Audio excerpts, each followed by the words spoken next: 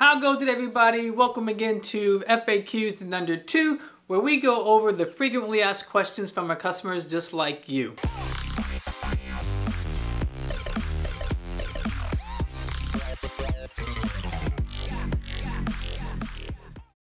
Okay, so in today's video, we're going to cover a very important question that we get quite often, and, and that question is, how do we even know that the trailer can come to our house? Very simply, our game truck requires about 55 feet of space. That includes room for the truck and the attached trailer. So that means either at your house, if you're having us at your school, uh, maybe you're going to a park or a corporate event, anywhere that we're coming, basically the only thing that we need to know is that we have the 55 feet of space and that it is flat ground.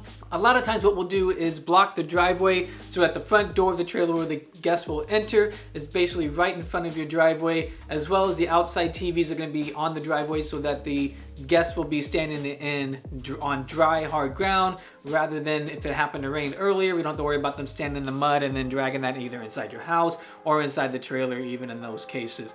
Uh, when it comes to laser tag and the foam machines, what we'll do there is basically just pull up to your house, park in front of it, unload the equipment, and then if you need us to move at that point, we can move the car further down so that your guests can park there, and then we just ask for access to bring it back uh, once we need to pack everything up.